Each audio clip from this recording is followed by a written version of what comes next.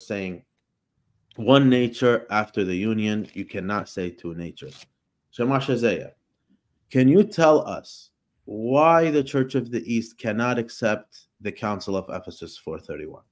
Now, before you move on, you mentioned few Cyrils.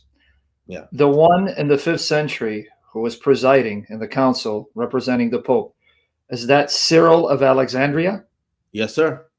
Because you said he affirmed one nature. That's correct.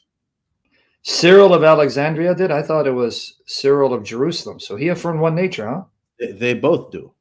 Wow. Yeah. So Cyril of Alexandria, who's a saint in the Orthodox Church, am I correct? Eastern Orthodox? Right. Correct. Yeah. He There's believed in one nature Yeah. Absolutely. after the union? Uh huh. He condemns saying two natures after the union. You can't say it for Cyril. And the Council of Ephesus itself anathematizes saying two natures after the union. So how is he a saint in the Eastern Orthodox Church? But go ahead. You guys, you guys are baffling me more and more, but go ahead. Uh, so Saint Severus he gives the challenge. He says, "Show me, show me a church father who says uh, two natures after the union. Who says it? Show me who. Because there isn't Sam. There isn't the Chalcedon, the, the Cappadocian fathers, this, the saints, Saint Gregory, uh, Saint Basil, and the, the Alexandrian fathers, Cyril and Athanasius. Who says two natures after Saint F, the Asurai fathers, Mar Epram, Afrat? Who says two natures after the union? Nobody says it. So up until we get to the fifth century, the fathers are consistent in articulating one composite nature after the incarnation, huh? Abs- Sam, look, notice what the the Chalcedonians when they're arguing against Church of the East. Which fathers do they use?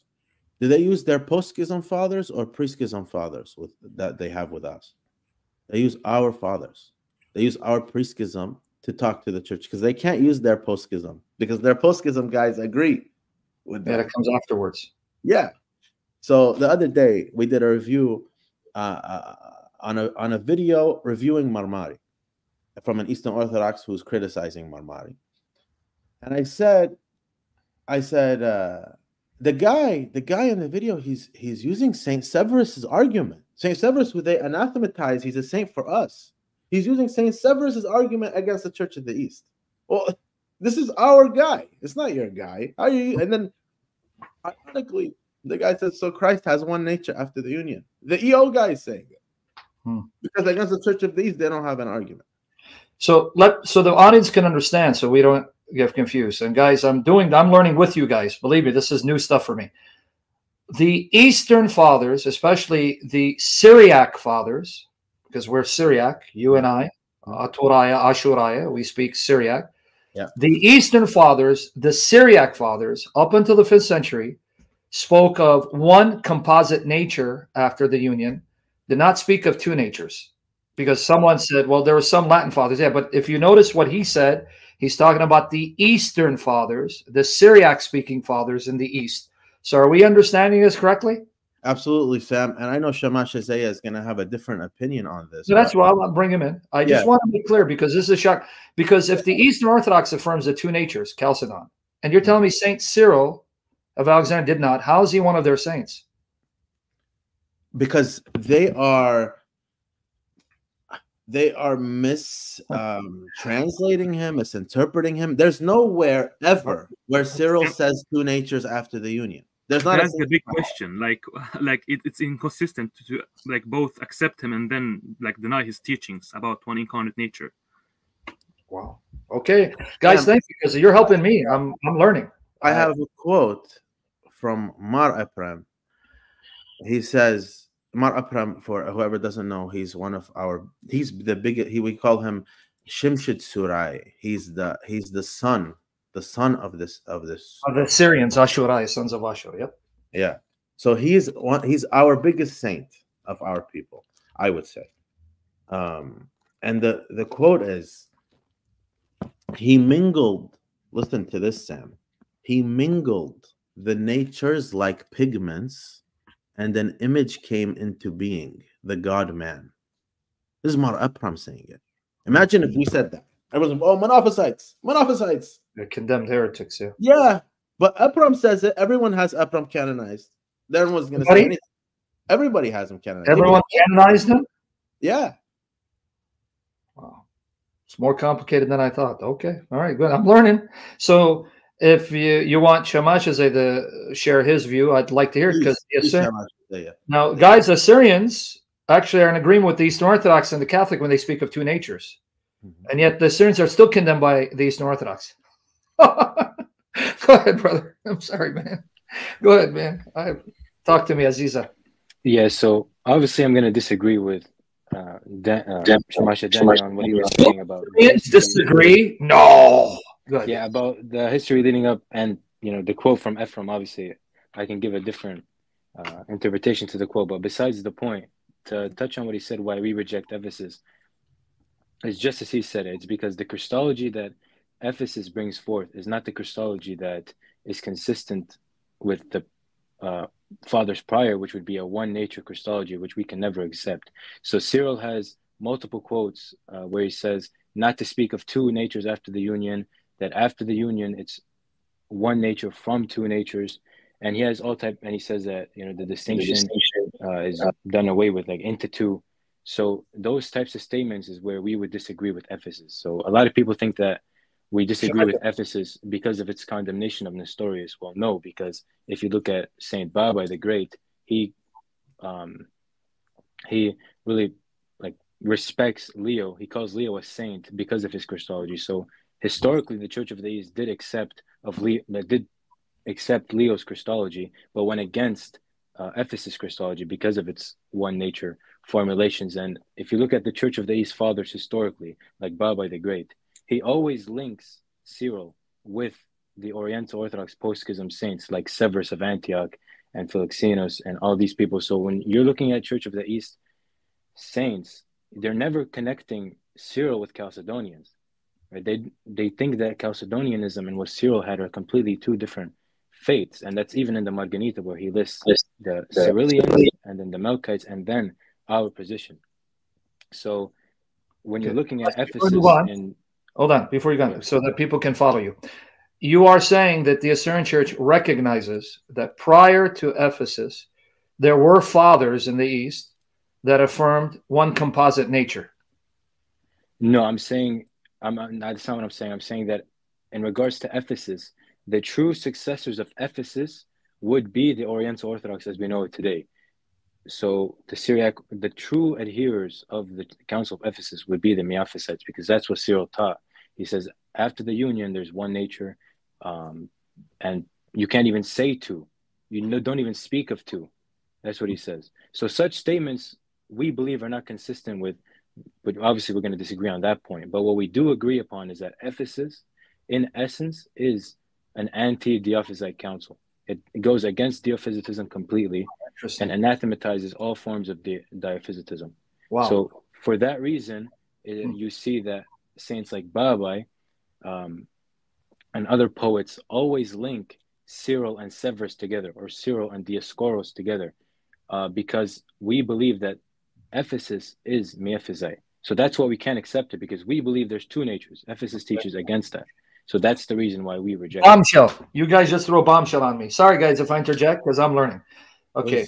Now here's the bombshell. You guys hear what he just admitted. Council of Ephesus, which from what I understand, Catholics and Eastern Orthodox accept. Now, understand what you just heard. And they got it all documented. They're not going to lie because they know they have enemies who are going to bash them.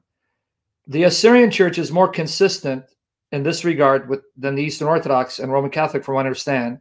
The Assyrian church will not accept the Council of Ephesus because it affirms one composite nature, which the Eastern Orthodox and the Roman Catholic reject.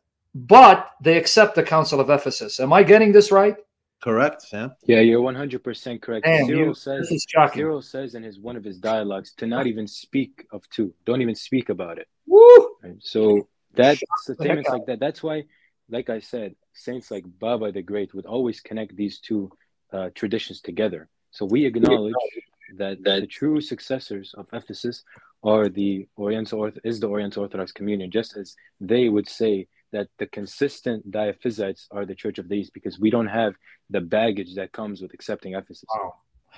It is beautiful to hear that as much as the Assyrian church has been bashed by some Eastern Orthodox, it turns out they're more consistent with diophysitism. Do you understand what you're hearing, Ortho- Eastern Orthodox? The Assyrian church has been more consistent in affirming the two natures because they rejected a council, the Council of Ephesus, which affirmed a composite nature, which the Eastern Orthodox reject. The Assyrians rejected the council for that reason, and yet they're the ones who are being bashed when they're being more consistent with the view that Christ has two natures after the union.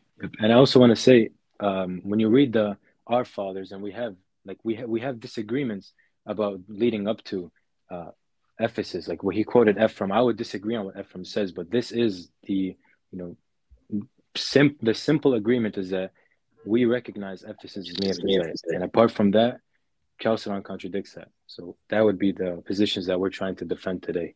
Ay, vey. Wow, something new. Council of Ephesus is rejected because it's a Mia Physite council. And, So- and, Sam, and if, if, if you want to like see the sources, we have them. Oh, yeah. show. Can you document for those who are going to bash you and say you're lying because you want to document it? Yeah, we have like we have a big presentation. Um, if you'd like, I can present it. Yes, I mean, my friend, we're going to do multiple parts. So what I told Subdeacon, we'll try to teach each part within two hours.